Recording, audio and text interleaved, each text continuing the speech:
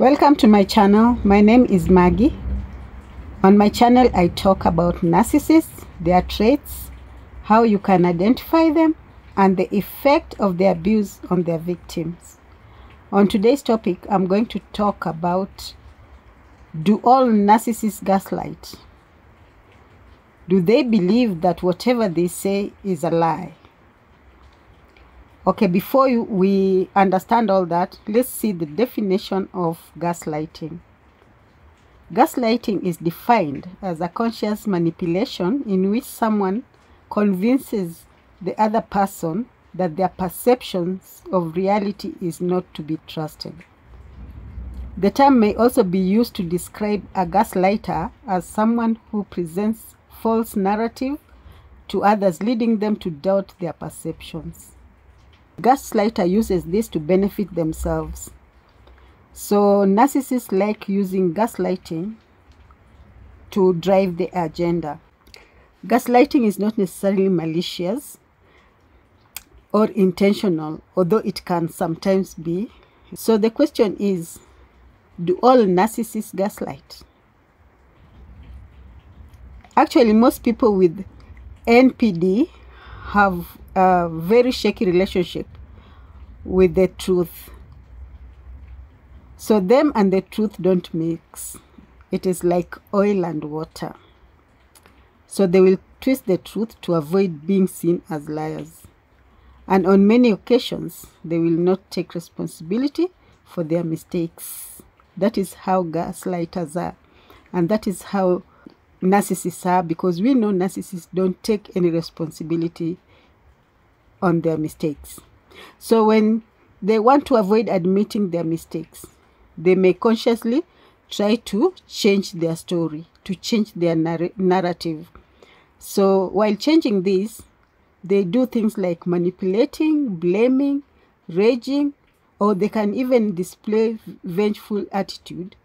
All this is to convince their listener, the person who is listening, their victim, that whatever happened did not happen. So, what may have started as a small misunderstanding may even lead to narcissistic anger. They can even throw some tantrum, and that can even turn into gaslighting. So, narcissistic gaslighting is just a conscious effort by a narcissist to deny or twist the truth and manipulate their victim so that they can drive their selfish agendas. To paraphrase actually what one person, one comedian by the name Lenny Bruce, what he said to the men who were caught cheating, this is what he told them that even if the two of you were back naked and caught in the act, deny it, just deny it, always deny it. Tell them whatever they saw is not what they think. So that is what he told those people who are caught cheating.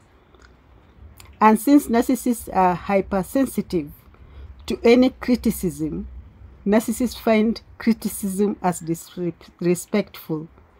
So when that one happened, they will blow up. They will even tell you all sorts of mean things to scare you so that you don't continue with whatever you are saying.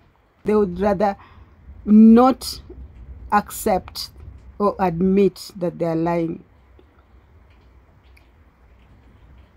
And most cases, it's even very difficult to have a conversation or maybe a decent conversation with the narcissist because as you try to fix an argument, your opinion will not matter. And whatever it is, it is always your fault. Whatever happens, it is always your fault. And the narcissist is always right. So there's no compromise. There's no middle line between the narcissist and you. It's either black or white, yes or no, lie or truth. They want you to believe their lies as true and justified. The best thing to do is just to walk out of that scenario eh, whenever the argument comes up. Because trying to even reason with a narcissist will make you even question what you know. So if even if you call them out, you're wasting your time because they will flip everything and they will turn everything around on you.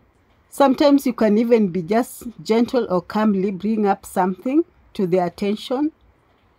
And if you do that, they will immediately become aggressive and defensive. They believe that for them to survive, for the narcissist to survive, they must be defensive. That is their belief. It can get to a point where now, because you're tired of argument, you'll just keep everything to yourself to avoid problems. And that's precisely what the narcissists want. So their refusal to have a normal conversation with you, they know it will exhaust you and they know it's a way of scaring you. So you will not want to continue with that conversation.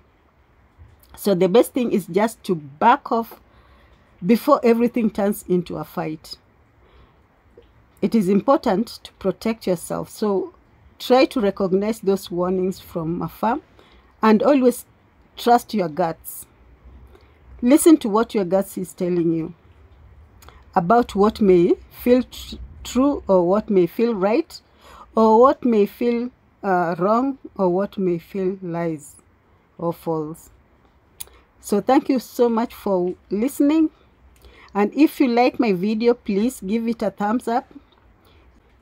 And if you are new on my channel, please subscribe, share, leave your comment on the section below and click that notification bell so that when I upload a new video, you'll be notified. To my already subscriber, thank you so much for your continued support. And let's meet on the next video.